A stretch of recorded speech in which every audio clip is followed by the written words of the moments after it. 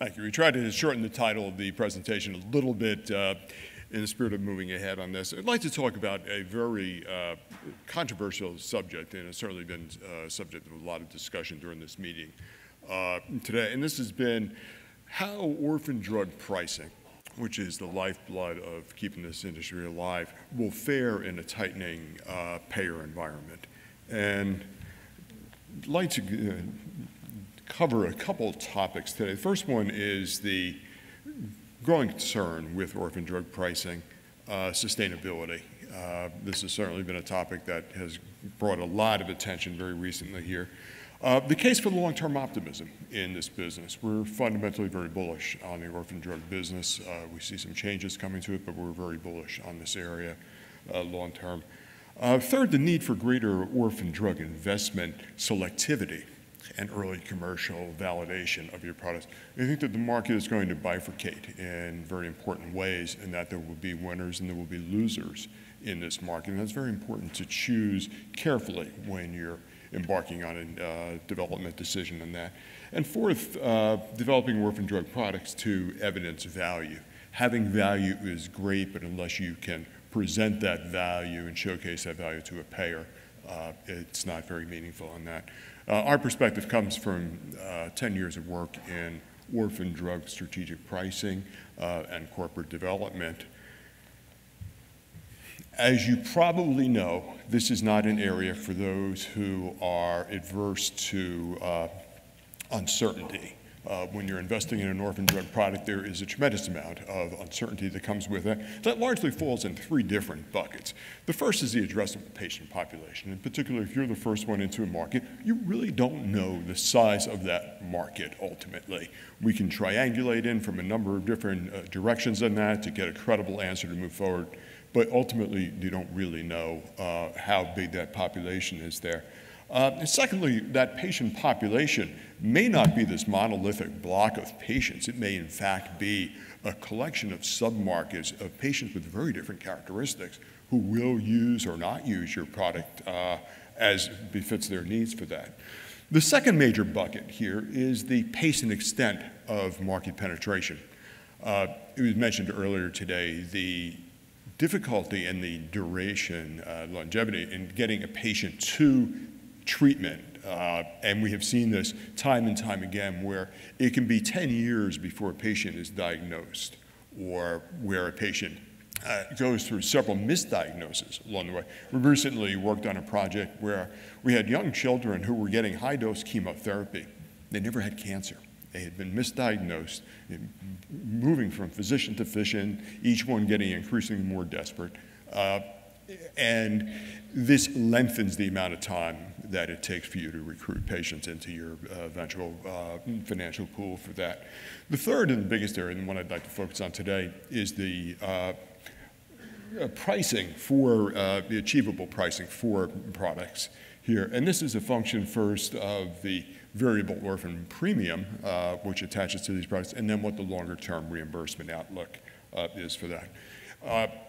Conceptually, orphan drug prices are set in a way where there is a basic economic value, and then there is a variable premium on top of that. That premium is a number that is subject to great debate uh, and variability. Orphan pricing is really a series of one-off decisions, how you price an individual product into the market. As you get into the few more crowded markets, it begins to take on the characteristics of a mature market. But in the main, this is a series of individual pricing decisions that you're making over and over again, where pricing models leave you a little bit hollow on that. Now, there's several things that go into determining what the magnitude of that orphan premium is. And the ones that we've found to be particularly telling here is the population size. And the population certainly correlates very well with the price points that we've seen in the market. We saw some charts on that earlier today. Uh, but in the main, it is not causation there. It's simply a reflection of the financial interest in that. The most important one is the clinical imperative and the treatment alternatives that are available for that if there is a disease, and we see some extraordinary cruel diseases in the area of uh, orphan drugs, if there is a major need and there is a product that has the potential to address that need, uh, that gives you quite a bit of latitude in this marketplace. Some of the other uh, areas that are particularly important in setting the premiums on this are the efficacy. And the efficacy is a function both of the magnitude of the benefit and the proportion of patients that uh, benefit from that drug. If you're prevent if you're causing survival in 50% of the patients, uh, that's a little bit different than preventing a minor side effect in 3% of the patients. So the efficacy is a very variable term uh, along the way there. There's also tangible cost offsets uh, with that, and that really factors into the economic value uh, of the product. And then there's the individual patient vulnerability. Uh, a young child will draw more resources than someone at the end of life uh, in there. Uh, the mechanism of action also is a factor that has been uh, very important in determining that. And there's a certain amount of surface logic in that a replacement factor for a disease is something that is a lot more easy to understand than it is a three steps removed down a series of uh, physiologic changes there. It's a simple case of you're missing a particular uh, enzyme. We can replace that enzyme, that factor. Uh, that has a certain logic to it that is understood well by physicians, understood well by payers, and which tends to lead to uh, premiums that are more acceptable for that. There are several other factors. We've accumulated about 20 over the course of the past several years uh, that have really been driving, and they tend to be individual uh, situations. A, a, particular product, one factor may be driving that far more than any other. So it really is a series of one-offs for that. More recently, there has been some concerns with the sustainability of orphan drug pricing, and you're starting to see this spill over now into the um, even the major uh, medical press on this. Beware the increasing cost and number of orphan drugs coming into the market. Now, clearly, the rise of orphan drugs is gaining some attention and uh, is something that all of us will need to deal with. Payers have noted to us several concerns with respect to orphan drug pricing. First of all, uh, there is a tsunami of orphan drugs and orphan drug designations coming down the road. And that has been really underscored by the increasing participation of large pharma in this business. When this was a cottage industry of companies, that was a little bit different and perhaps a little less threatening than to have some of your major companies involved. Now that they see the top five companies involved pretty heavily in this area, they're concerned. And they can also see the trail of orphan drug approvals and more importantly the orphan drug designations that you know, can cause you to uh, catch your breath if you're on the payer side of the business. Uh, the second issue that draws concern from the part of payers is the uh, price points that are increasing, increasingly routine uh, upper tier price points on that. Uh, products, when products come in at a, you know, starting point of $300,000 and we'll see where we can go from there. And that becomes a little bit of, a little bit of an issue. Not every product is a Soliris, not every product has that benefit, but you are seeing a fairly stepwise approach in pricing going up there.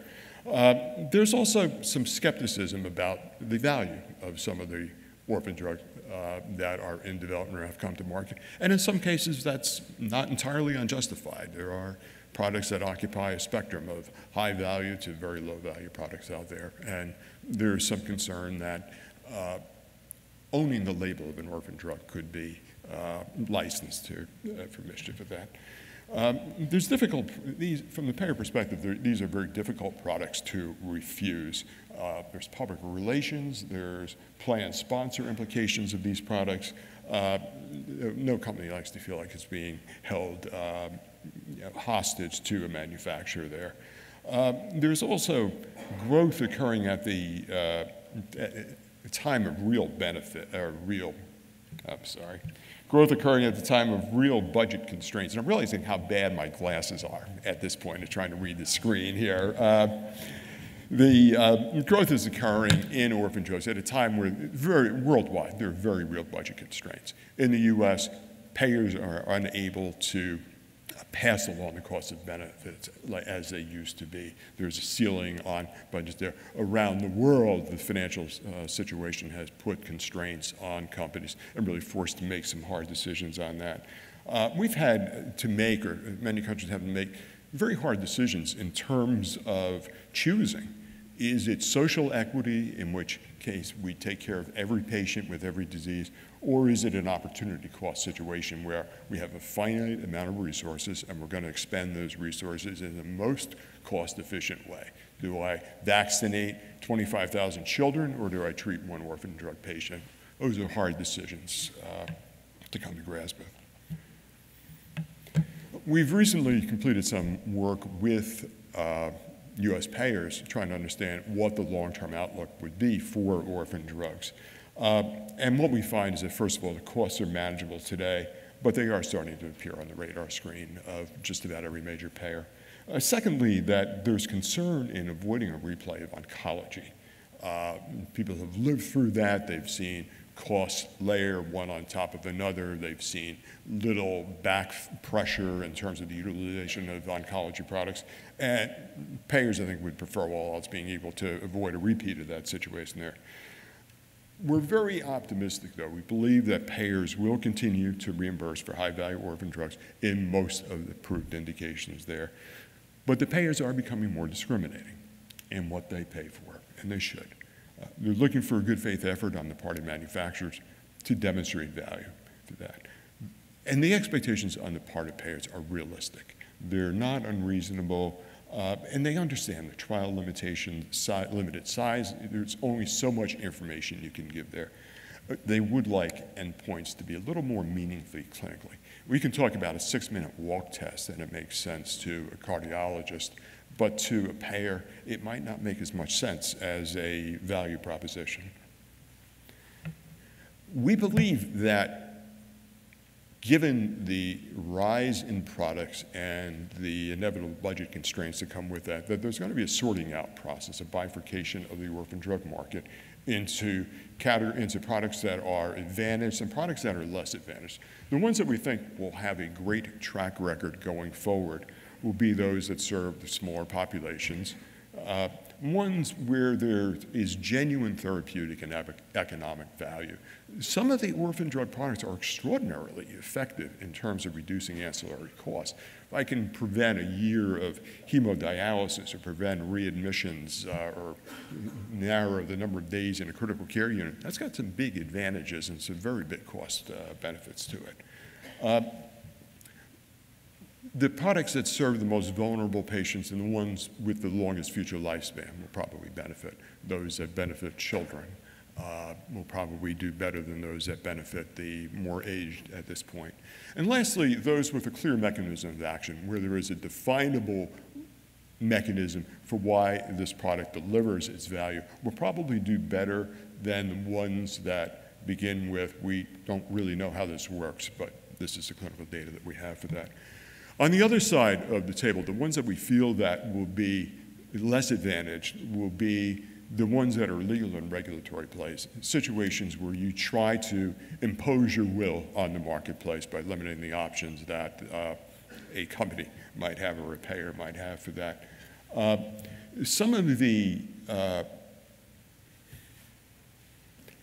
dubious repositioning work. There is a lot of good value to be had in terms of repurposing uh, products in the market today, but there are some cases where it looks like a real stretch, and I think those will have uh, some difficulties from manufacturer, from payers in the days ahead there.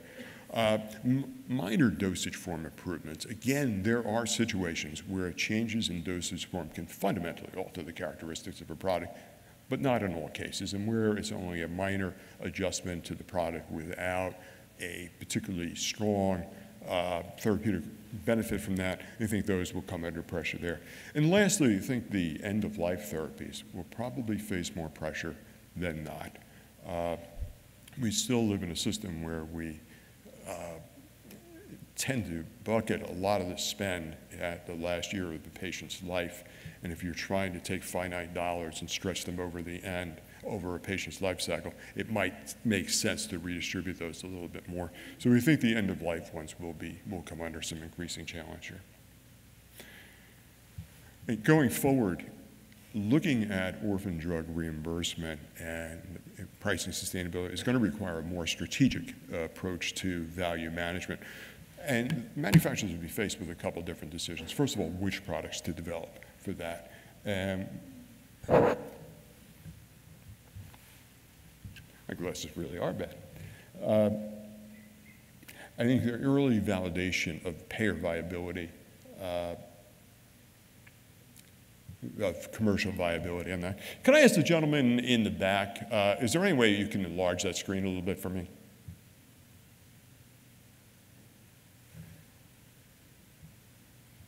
Uh, secondly, increasingly,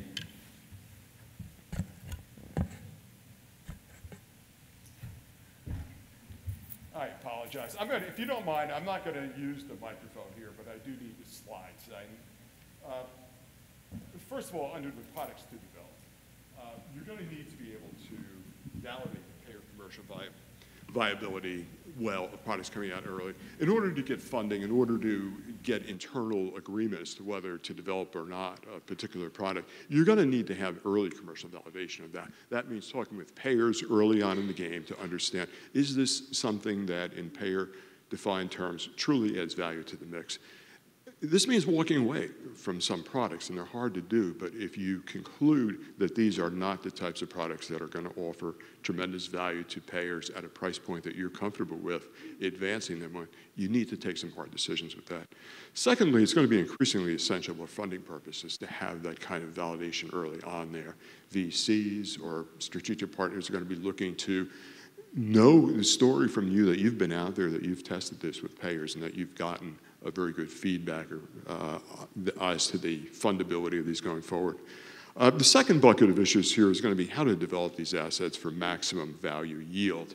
Uh, this involves, in the case of multi-indication products, the uh, selection of the indications that you choose to develop in a way that tries to preserve the maximum amount of value across the product. Uh, the choice of patient submarkets. Where do I go in a particular orphan disease, do I go after the highest acuity sector of that, or do I go after the broad base of that? Those may have very different implications in terms of what's required, in terms of clinical results, and in terms of what's implied in terms of pricing for those.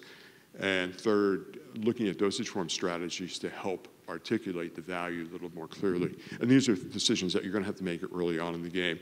Third, uh, the question will be how to evidence the value that's created. Creating a tremendous amount of value is great, but if you can't document that value in a payer relevant way, you're behind the eight ball on that. That means building in, first of all, non confounding uh, economic outcomes. And by non confounding, I mean you don't want to put measures in place that take the basic uh, trial and compromise that. You don't want to compromise the medical component of that. But you do want to start to build in factors that will give payers a better understanding of how this product could actually work uh, in the marketplace. Uh, and then secondly, to ensure that your outcomes are payer relevant, to speak in the language of payers, to speak in the language of value, rather than strictly in terms of therapeutics. I think orphan drug pricing is really a balancing act here. Strategic, strong pricing is going to be absolutely essential to continued investment in this area. Uh, after 10 years of this work, working with dozens of different manufacturers in the area, I'm categorically of the belief that the success of the high price, low volume patient market has really been the key factor in unlocking investment in the orphan drug market more than any other factor. The exclusivity is nice, some of the tax benefits are nice, but if you can't get the right price for your product, it's really a, uh, it's a non-starter for that. Uh, the clinical risks in orphan drugs are likely to increase rather than decrease going forward. We've had a situation where a number of the early products were extremely well defined uh, clinically. It was just a question, can we make these products in sufficient quantities? Can we bring the recombinant technologies to bear that allows these to be made in large quantities? Uh, we're further and further out now into the higher uh, risk uh, areas of drug development. Uh, and finally, the exclusivity period uh, should be considered as an offset to pricing on this. We have a seven-year period right now in the U.S., which is great. That may be extended longer to help offset some of the pricing pressures for that. That's what's required from the payers and from the funders. The obligation of the manufacturers, on the other hand, is to have products that offer genuine value into the marketplace here. And your orphan drug designation simply isn't a license to uh, ignore practical economics. You've got to be able to price to value on that. Uh, we're working with some very interesting products right now in terms of micro orphans, less than a thousand patients worldwide, uh, which have price points that are where you would probably expect them to be. Gene therapy, which has implications uh, in terms of how you price this. We think that some of these types of orphan products may now begin to call into question the fundamental uh, pricing and economic model for the pharmaceutical industry, maybe lead to some innovation in that. We've had you know, 50, 60 years of using the same model for that, and I think it's getting a little bit stretched uh, at this point.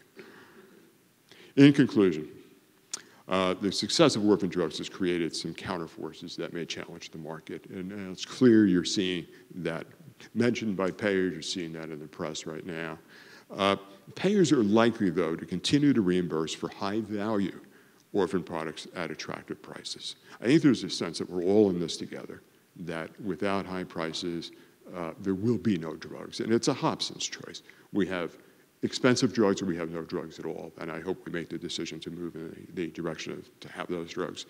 Uh, the payer demands will inquire increasingly, uh, increasing investment discrimination uh, by the developers. You're going to need to choose your shots a lot more carefully than you have in the past and develop products that have true economic value to them.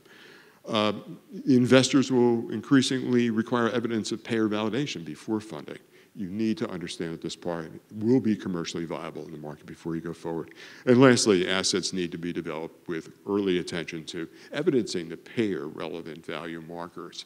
Uh, as you develop these products, it's not enough to wait to phase three or the close of phase three to start doing your pharmacoeconomic modeling. You need to be able to start building some of this in at early phases of uh, the work. And I thank you very much, and I appreciate your uh, putting up with the uh, mobile presentation here. Thank you very much.